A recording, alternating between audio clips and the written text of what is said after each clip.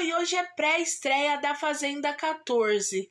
Baronesa está confirmadíssima no paiol. E antes de tudo, eu já quero pedir para você que está assistindo deixar um joinha que é muito importante. Tá rolando pré-estreia na Fazenda 14. Baronesa, ex-Power Campo 6, agora está participando do paiol. Nesse ano vão participar cinco pessoas do paiol que vão ter a possibilidade de participar da Fazenda 14. 14. Além de Baronesa, neta da Gretchen, Bia Miranda também está disputando por essa vaga.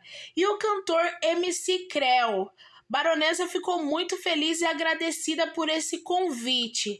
Além dela, a influencer digital Suzy também está disputando por essa vaguinha na Fazenda 14. E também o ex-jogador de futebol André Santos também está disputando essa vaga. Lembrando também, pessoal, que dessa vez vai ser bem diferente. Alguns dos participantes oficial da Fazenda 14 desistir ao longo do jogo, algum participante que sobrar do paiol vai ser colocado no lugar dessa pessoa. Então, além deles tiver essa primeira chance, eles podem ter uma chance novamente de conseguir entrar na Fazenda 14.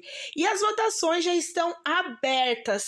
Quem você quer que entre para a Fazenda 14? André Santos, Bia Miranda, Baronesa, MC Creu ou Suzy?